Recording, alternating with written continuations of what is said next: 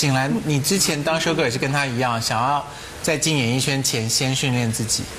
就是不知道自己的那个，不知道自己的能耐有多少啊，会想要先试试看自己适不适合这份工作你。刚才问张景来关于 Sora 的事情，你有没有看他的眼神？怎么了？他说你也是跟 Sora 一样，他这样。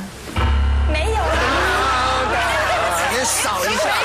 你有看到我？打量了一下 Sora，哎因为我我想说我要看着看勇哥，可是他我又他看到他在看我，所以我就是有点不知道在看哪边这样。你在展场没有被星探发掘吗？其实有哎、就是他们会问，然后留名片这样，然后打过去的时候，就会跟你开始谈一些奇怪的价码，就知道他并不是不是真的演艺圈的经纪人。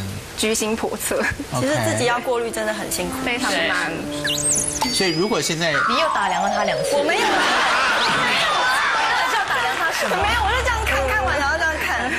就是就是要看才礼貌啊。不过二十四。